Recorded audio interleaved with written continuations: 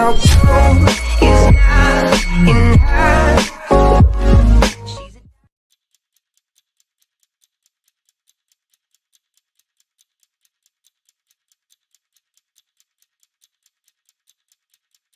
The Lexus RX pampers its owners with high-resolution screens and high-definition audio, but its infotainment system needs a reboot. The Lexus RX has spoiled us as one of the OG luxury crossovers, it's added more and more standard gear over the years, and has exercised little restraint on the option side are we myth? We'll get back to you after the caviar course meanwhile, the RX gets a 9 Ford's panoply of features, including its sterling service reputation.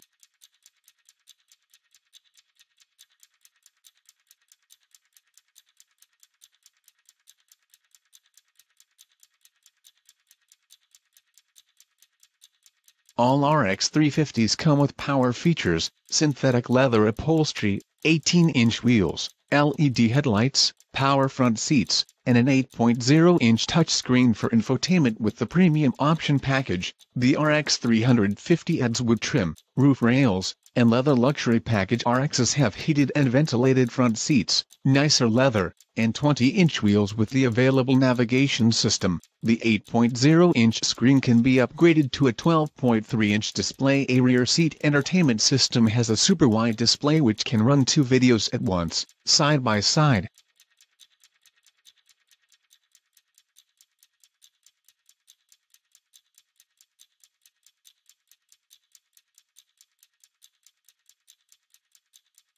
An F Sport bundle adopts adaptive suspension, remaps the steering, restyles the front and rear ends, and fits a pair of front sports seats. Other options included a panoramic sunroof, Mark Levinson audio, and a head-up display. Lexus configures the RX 450h like its premium RX 350, and charges more for the hybrid options on the hybrid include the panoramic roof, heated and ventilated seats, navigation, and blind spot monitors audio and infotainment Lexus offers a few audio and infotainment choices.